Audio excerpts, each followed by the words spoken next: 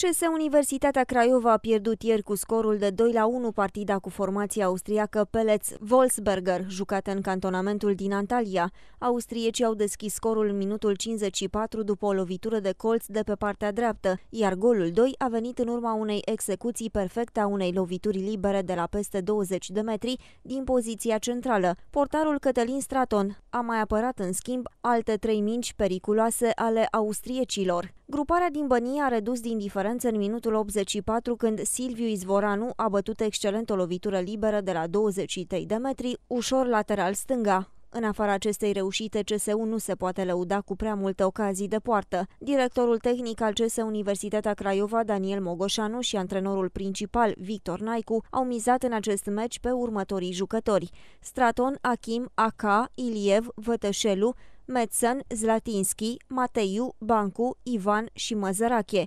Pe parcurs au mai intrat Cai, Ciocoteală, Izvoranu, Dumitraș, Băluță, Herghelegiu, Burlacu, Petre și Hreniuc. În următorul joc de verificare programat mâine de la ora 15, CS Universitatea Craiova o va întâlni pe Austria-Viena.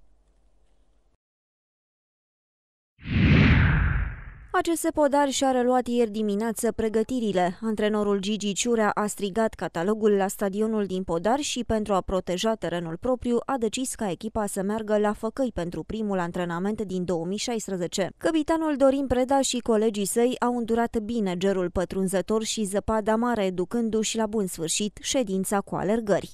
Important este pentru jucători să se adapteze la efort, vin după o vacanță și sper să să facem o pregătire bună aici acasă și perioada din cantonament, uh, uh, când vom merge să, să facem uh, o treabă bună, să facem acumulări, să formăm un grup unit, o echipă bună în care să abordăm cu cea mai mare seriozitate returul campionatului.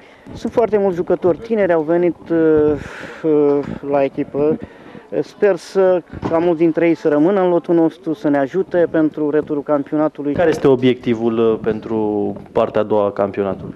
Cât mai sus, primele, să zicem, primele posturi acolo, să ne optăm cât mai sus pentru a putea valoriza și a tinerii noștri care avem aici, juniorii sau Până acum, oficialii ACS Podari au parafat doar un joc amical pe 26 februarie cu CS Ofiliaș. Echipa din Podari ocupă locul 10 în Liga 3 -a.